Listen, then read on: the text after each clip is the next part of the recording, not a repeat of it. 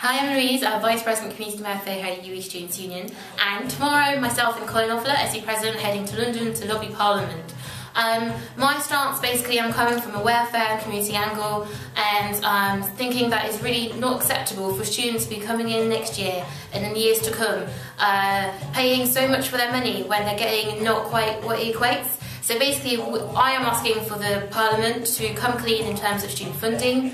Uh, there is loads of hidden costs that, costs that come to university, um, such as uh, paying for resits, uh, for £50 for a resit, which is so much money when it comes when for students who maybe not doing, probably prioritising a resit or buying food for the week. Um, and all these, there's yeah, there's loads of really hidden course costs that creeps up. Oh, I have to do that again. Sorry.